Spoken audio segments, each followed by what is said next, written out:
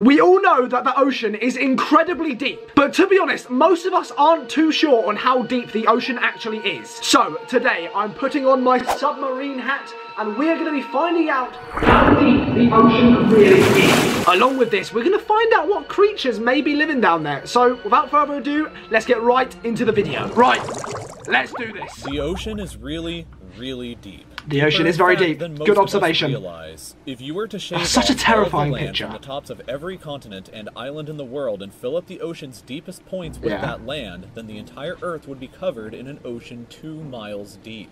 Three No way! Wait, wait, I don't think you understand how crazy that is. If we smoothed out our land so we were smooth as could possibly be and chucked all the excess like dirt and stuff into the ocean, there will still be only two miles of water. There'll be no land at all.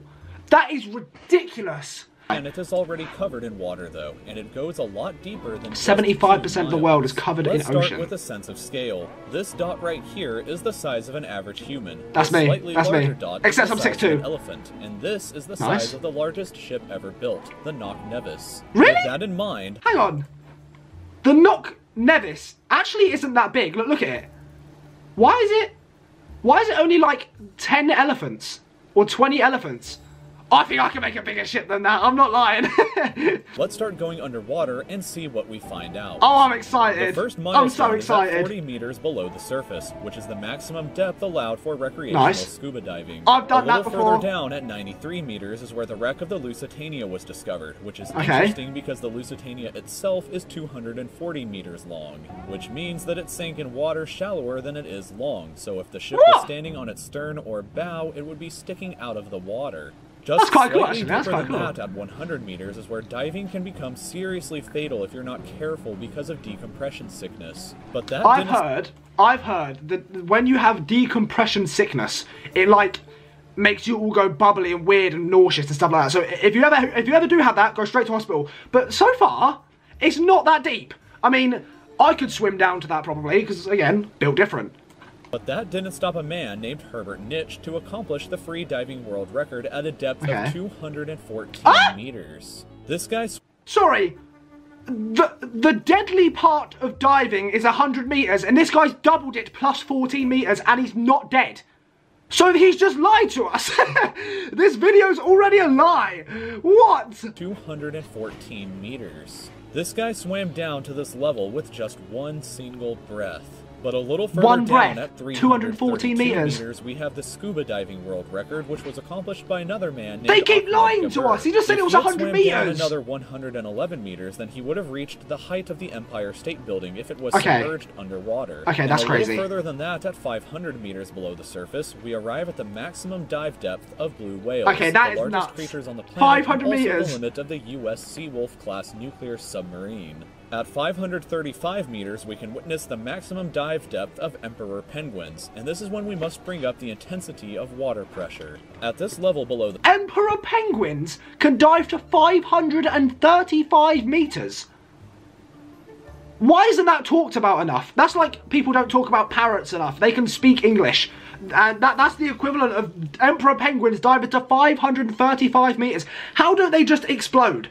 They're talking about water pressure now. How don't they just explode? Let's let's keep watching. and this is when we must bring up the intensity of water pressure. At this level below the surface, the water pressure exerted on a person or the penguins would be roughly equivalent to a polar bear standing on a quarter. So further down the depths at 830 How hasn't the penguin exploded then? the height of the Burj Khalifa in Dubai. 830 the meters the Burj Khalifa, okay. Once we hit 1,000 meters below the surface, we begin to enter the scary zone. Light from the surface can no longer reach That isn't the scary zone! Are you kidding me?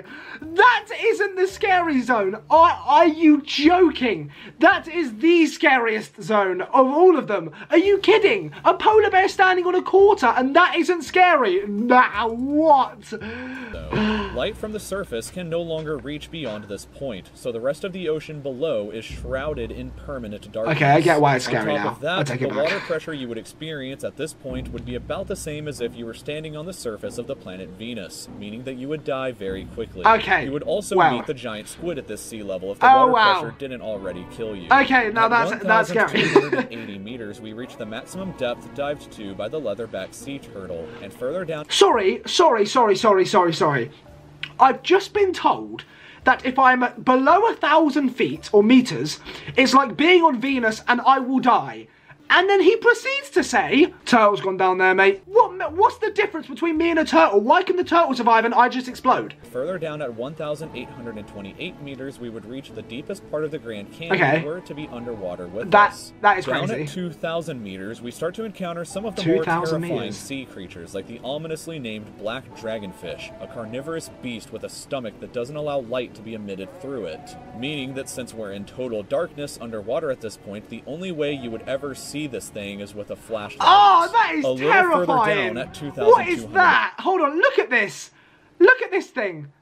H- how do I get it on it? See this thing Wait, is with a look at that! What is that thing? What is that? Oh my god! Imagine going for a swim, yeah, and you're like you're, you're in the Caribbean. Imagine I'm swimming. Look, I'm having a nice little time. I put my goggles on, look down, and there's this thing staring back at me. Oh my god! I would cry. No way. ever see this thing is with a flashlight. A little further down, at 2,250 meters, we would reach the maximum depth dived to by both sperm whales and the very Again, frightening why don't they colossal explode? squid. Okay, that's sperm terrifying. whales often have sucker marks and scars left on their bodies from battles with the colossal squid that likely take place at these incredible depths. Oh my god. The squids themselves can grow to be 14 meters long and weigh up to 750 kilograms. Stop it! 14 meters long.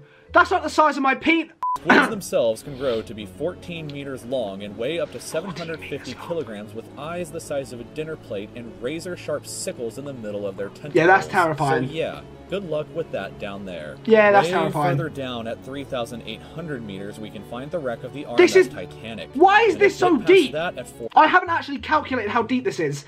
I'm like one meter eight nine or eight seven, one one meter point eight nine or eight seven. This is four thousand meters now, so that's like two thousand of me, pretty much two thousand five hundred of me, stacked on top of each other. Oh my god! we can find the wreck of the RMS Titanic. And a bit past that, at 4,000 meters, we start to enter the abyssal zone of the ocean. The abyssal Water zone. pressure is at an astonishing 11,000 pounds per square inch. That's like a crocodile and there are numerous strange, almost alien-like creatures that inhabit these depths, such as the fangtooth, anglerfish, Oh hell and no! What are they? Down at 4,200 That's not something you see on SpongeBob. the average depth of the ocean where you would normally expect to hit the floor. Okay, hang on, hang on. Of The, the average depth of an ocean is 4,260 meters. And there's still two minutes left of this video, so that means it goes even deeper than that. Normally expect to hit the floor, but there are parts of the ocean that go significantly deeper than even Wow. this. At 4,791 meters rests the wreckage of the battleship Bismarck sunk during World War II, and Oh way down God. at 6,000 meters is the beginning of the Hadal Zone, named after the underworld meters? Hades itself. The water pressure down at these depths can become 1,100 times what you would experience way back on top at the surface, which is roughly equal to an elephant balancing on a postage stamp or a Oh single person God. carrying the weight of 50 Boeing 747 jumbo jets. down at these depths, you What? I mean, for me, I could bench press at least 59 Boeing 747s, whatever they're called. But for an average man like you. no, but seriously, that is crazy. 50 aeroplanes. Down at these depths, you would be crushed immediately without any outside protection, but life still exists down here in various See, that I don't get. At How are they surviving 50 Bo- meters, Boeing we reach the 757s? maximum depth that the DSV Alvin can dive to, a popular research submarine that helped to discover the Okay, that's cool.